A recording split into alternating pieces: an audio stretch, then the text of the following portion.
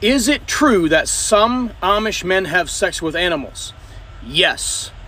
Now, I'm glad you said some, because not all Amish are this way.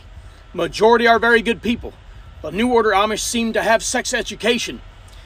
Well, the Old Order Amish, where I come from, they do not. And that would be why. At the end of your question, you said, I was curious as to why. Well, I can tell you, because of lack of sex education, we simply didn't know how to react when we turned teenage years.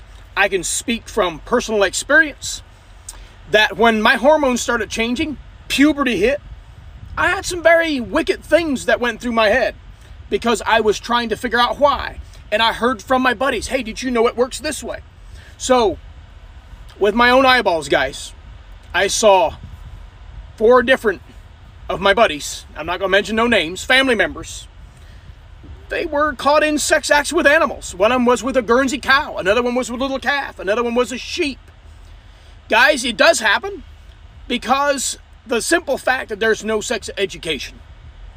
If they would teach the dangers of it, the diseases of it, the pregnancy, I thought little babies came from heaven in the middle of the night when angels come down and give me another brother or sister. When you're taught that, you don't know any better.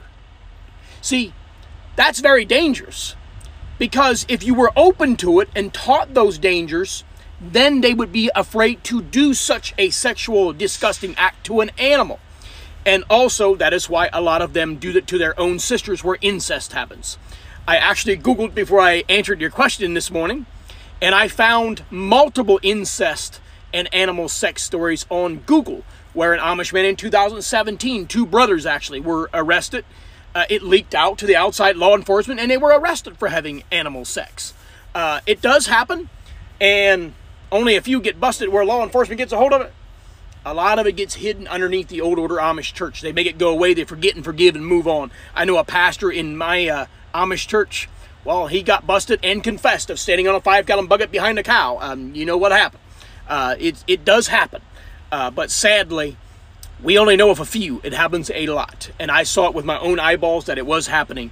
And it's, it's really been alarming the number of ex Amish that have left the Amish that share stories with me where they also did it themselves and witnessed themselves of other having an, animal sex and also with their own family members, sisters, sometimes very young. And it's, uh, it's something that needs to be uh, discussed and, and uh, they need to get resources in place, and that's what we're trying to help them do. But unfortunately, they, they're, they're unwilling to work with former Amish or even Amish Rescue Mission, so therefore it's just going to continue.